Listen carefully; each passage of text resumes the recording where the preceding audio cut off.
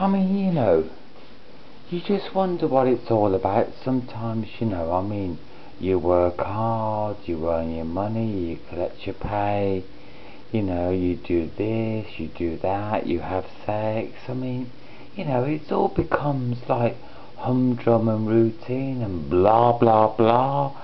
I mean, you know, you wonder really whether you should carry on. I mean, you know, I mean, you know, the years tick by, you lose your hair, your teeth go downhill, you get laughter lines, or should we say wrinkles, but you know, you buy the creams in the chemist and it makes you look younger and you don't want to get older and you know, you wonder what it's all about, you know what I mean? I mean, like, you know, you come and you go and you live and you die and it's all a bit of a hard piece of work and then you wonder if you're satisfied or not satisfied or hungry or not hungry and it's all so complicated but to be a, the thing is at the end of the day it's all worth it because it's ever such a good life you know.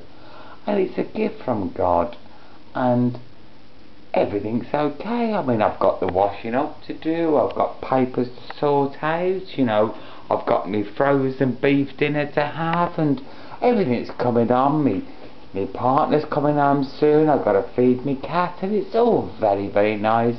It gives us something to do between the cradle and the grave, and it's all very, very nice, and I'm looking forward to the next 50 years.